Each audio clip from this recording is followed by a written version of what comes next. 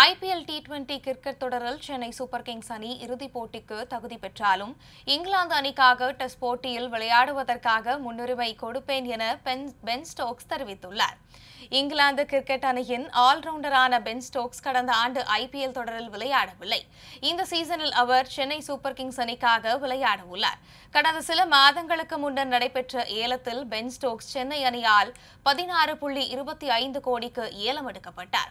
இந்த ஆண்டுக்கான ஐபிஎல் தொடர் வரும் மார்ச் முப்பத்தி ஒன்றாம் தேதி முதல் மே இருபத்தி எட்டாம் தேதி வரை நடைபெற உள்ளது ஐபிஎல் தொடர் முடிவடைந்து மூன்று நாட்களில் இங்கிலாந்து அணி அயர்லாந்துக்கு எதிரான டெஸ்ட் போட்டியில் விளையாட உள்ளது இதனால் அயர்லாந்து டெஸ்ட் போட்டிக்கு தயாராகும் விதமாக பென் ஸ்டோக்ஸ் ஐபிஎல் தொடரிலிருந்து முன்னதாகவே புறப்பட்டு செல்ல திட்டமிட்டுள்ளார்.